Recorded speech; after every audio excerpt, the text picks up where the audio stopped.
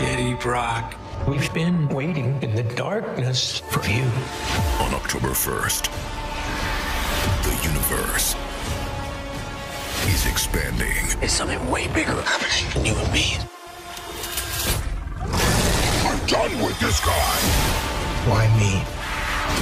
We all had secrets. You know what secrets want, Eddie? They went out. Venom, exclusively in movie theaters October 1st. Rated PG 13.